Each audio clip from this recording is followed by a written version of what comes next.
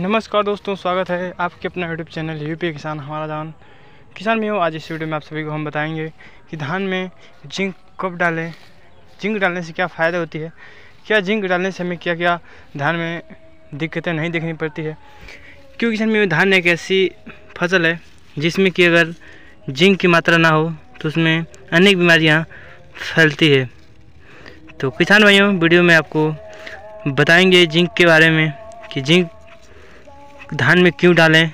क्या उसकी रिस्पांस मिलती है? तो वीडियो को फटाफट से वीडियो को लाइक करके चैनल को सब्सक्राइब कर दीजिएगा, जो भी किसान भाई फ़र्स्ट बार आए हैं। और साथ ही इस वीडियो में आप सभी को हम बताएँगे जिनके सभी खासियत धान की खेती के लिए। तो किसान भैया चलिए स्टार्ट करते हैं। किसान में जो धान खेती होती है उनमें जिंक की सबसे बड़ी भूमिका होती है देख सकते हैं हमारा धान देख सकते हैं काफ़ी हरी हरियाली है और आपको जस्ट हम कुछ समय पहले कल्ले भी गिन के दिखाए हैं कितने अधिक कल्ले आए हैं किसान में बुआई के समय हम कुछ बेसल डाले थे उसके बारे में बताएँगे आपको जिंक के पहले वाले हम बात कर लेते हैं जिंक क्या किसान में पौधों को जब आप रुपाई करते हैं तो दो से तीन दिन तक प्लांट में क्या होता है वो समझ लीजिए बेहोश होता है ना ही पौधे की किसी चीज़ की ज़रूरत होती है किसी भी मतलब तत्वों को। किचन में हो, जैसे कि आप जिंक अपने खेत में डालेंगे तो इससे आपके कल्ले भी आएँगे, पौधे में हरियाली ग्रोथ आएगी। जो आपकी जो मुट्ठे हैं ना, उसमें आपको दिखाते हैं, अभी देखिए, हमारा अभी हाल ही का धान में रुपया हुआ है।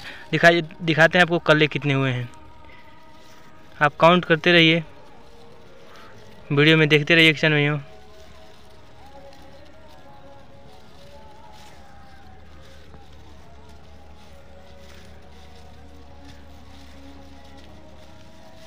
अब देखिए नीचे से भी कल्ले आ रहे हैं।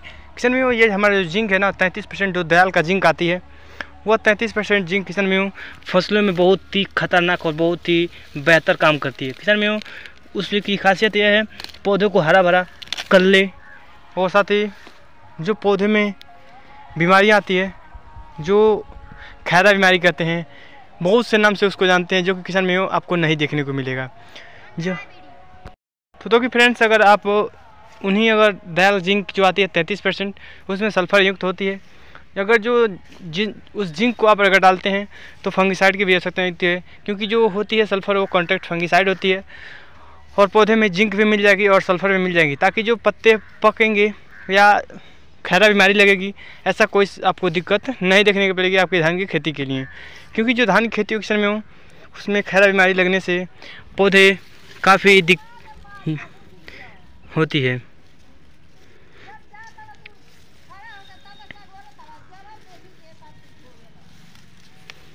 तो किसान में ये जो तैंतीस परसेंट जो जिंक है, वो किसान में पौधों में हरा भरा ग्रोथ, और देख सकते हैं जो पौधे की है, वो कितना मोटा तगड़ा है अलग अलग पौधे हैं, और देख सकते हैं कितना ज़्यादा छोटे छोटे छोटे भी कल्ले भी आ रहे हैं, आपको दिखाएँ हम। देखिए यहाँ पे दो कल्ले आए हैं। सभी धान के प्लांट से अच्छी खासी कल्ले भी आए हैं। और जो जिंक है उसको आप अगर डालते हैं तो पौधे के पास देख सकते हैं, जड़ें। वो काफ़ी मतलब जब इसकी जो जड़ें ग्रोथ होगी, तब की जो पौधा है, वो भी ग्रोथ में मिलेगा ही मिलेगा। तो किसान भी हो आप भी अगर धान की खेती किए हैं तो धान में तैंतीस परसेंट जो जिंक है, उसमें पंद्रह परसेंट सल्फ़र आती है। सल्फ़र युक्त जो जिंक आती है, उसको आप अगर डालते हैं तो उससे किसान आपको ग्रोथ इसको पहली या दूसरी इस मतलब सेकेंड में इसको डालनी है। किसान में जो है, ये तैंतीस परसेंट जिंक। वह पौधों में हरा भरा और काफ़ी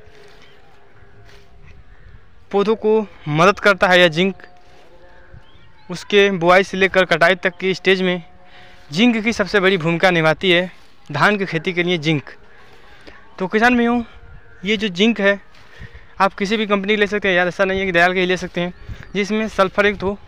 क्योंकि सल्फ़र और तैंतीस परसेंट जिंक जिसमें भी युक्त हो, उसको आप ले सकते हैं।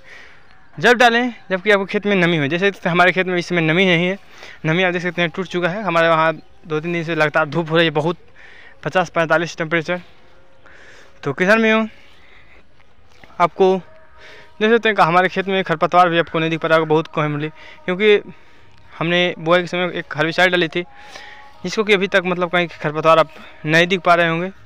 वह हर्बिसाइड जो कि बहुत ही बेहतर काम किया है और खेत में कोई खरपतवार नहीं है।